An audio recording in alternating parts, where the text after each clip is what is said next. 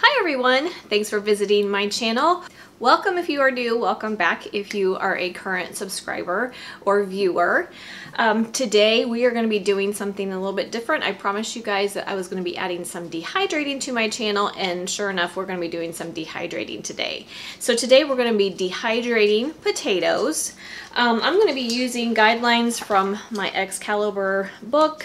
I do have an Excalibur dehydrator. I have the 9 tray with the clear door. Absolutely love it. So if you are in the market for a dehydrator, um, it is a fantastic one to get. It is on the pricier end, so I wouldn't invest in that unless dehydrating is something you're going to do on a regular basis. Um, there are ones out there that are less expensive, but I know the question has come up, are Excaliburs worth it? And yes, they are if you use them. So Anyway, today we're going to be dehydrating potatoes. And like I said, I'm going to be using the guidelines in this book. You can also find dehydrating guidelines, of course, um, online at the National Center for Home Food Preservation. You can find um, the USDA guidelines by Googling USDA guidelines for dehydrating. Um, there's also um, dehydrating sections and the majority of your canning books. So lots of places to find great information. So Excalibur just states the obvious to make sure you select potatoes that are in good condition, all that. I'm going to be dehydrating russets, but many varieties are good candidates for dehydrating. You want to make sure that you wash them, all that. You can dehydrate them with the skins on. I'm going to take the skins off. So I've started by peeling my potatoes and I have cut them in quarter inch slices. Show you one. About like that. To make this really easy for me, I enlisted the help of my food processor. So I just used my blade for thicker slices and went ahead, I cut them in half and then just put them through the food processor to make it really quick and easy to get my potatoes in quarter inch slices. But you don't have to slice them. You can do cut them french fry style, you can do circles, you can do chips, you can do and you can grate them.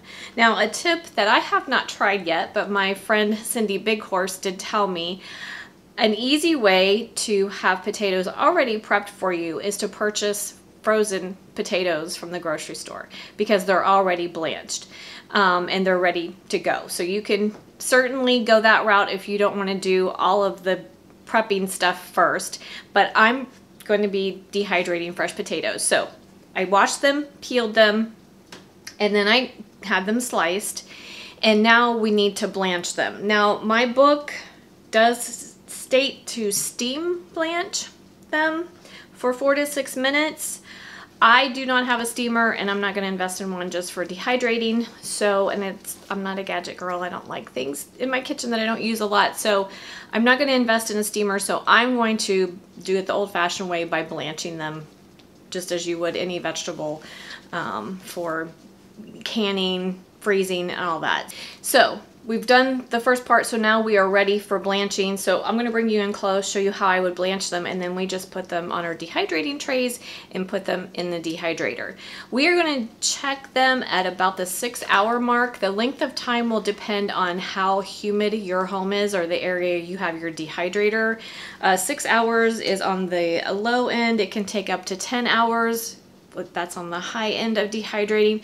But of course lots of factors um, will affect that. How humid your home is, how thick you slice your potatoes, all those things are factors. So at about the six hour mark is when we're gonna start checking ours.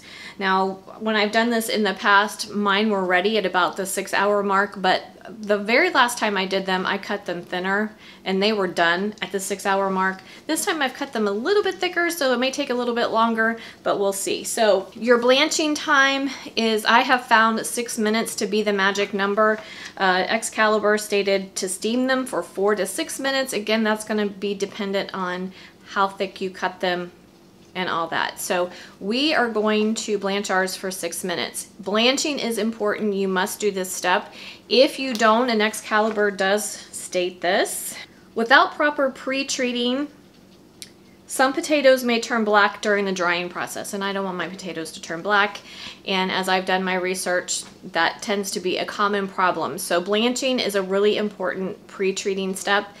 In your uh, dehydrator book, it will go over different options for pre-treating, but for potatoes, it is going to be steaming or blanching. So I'm gonna bring you in close. We're gonna get started with blanching. Okay, so for blanching, I start with a pot of rapidly boiling water and we are just going to take some of our potatoes. You don't want to overfill your pot. So I put in a couple of scoops of potatoes.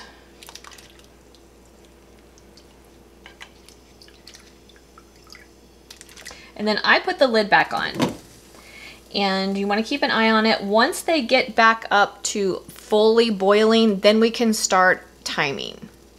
By the way, you do want to make sure that you keep your sliced potatoes in cold water so that they do not oxidize while you're doing the pre-treating.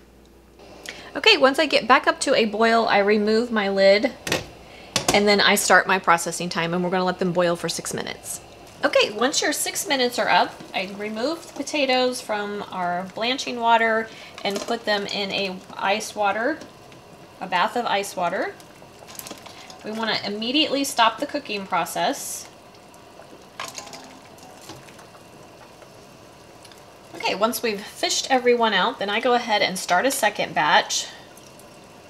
Some of these black in the middle or brown in the middle, get rid of those.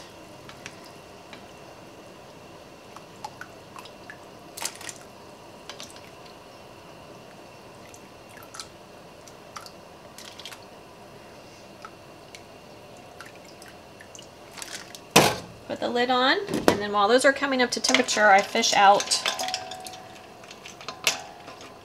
the first batch from the ice bath, and then I just put them in another bowl full of cold water.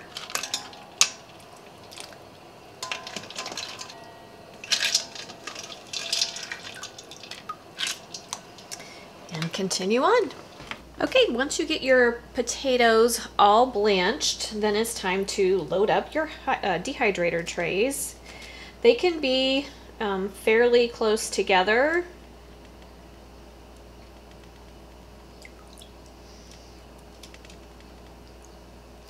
But you do want to give them some room. You don't want any of them overlapping. So some of my potatoes had have some of those brown spots in the middle that won't hurt anything. It's just aesthetics.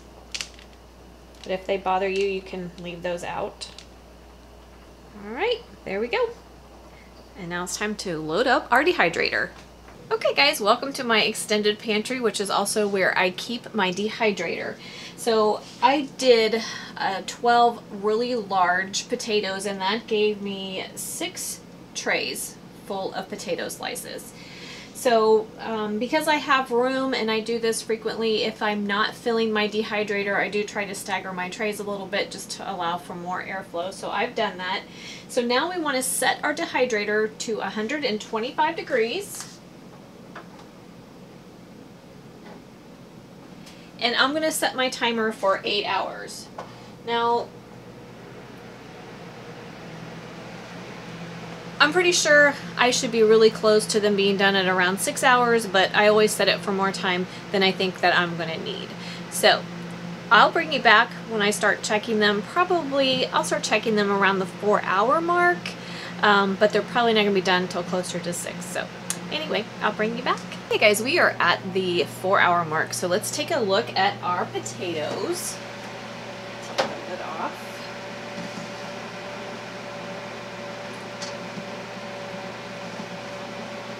And they're starting to dry out around the edges, but they're still very flexible.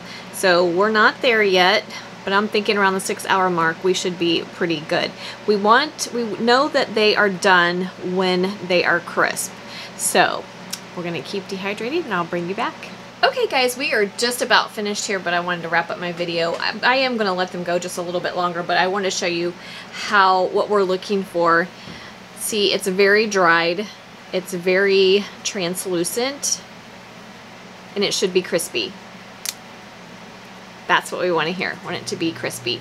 But make sure that you check several pieces from different trays um, because Excalibur does make a note that if they're not fully dehydrated, if there's any moisture left and then you go to store them, it will cause the whole batch to mold. So make sure that your whole batch is fully dried out. Like I said, most of mine are like this, but I have a few that need to go a little bit longer. So I'm gonna, gonna continue on here for about probably another 15 minutes to half an hour.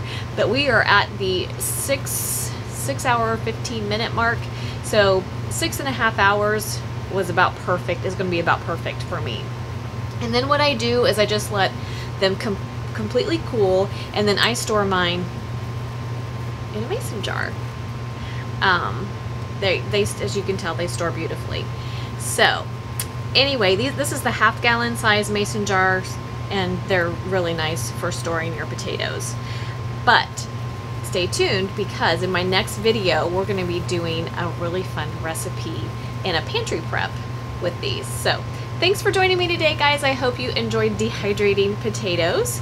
And if you have any comments or questions, please feel free to leave them for me in the comment section. Don't forget to like, subscribe, and share, and I will see you next time. Have a great day.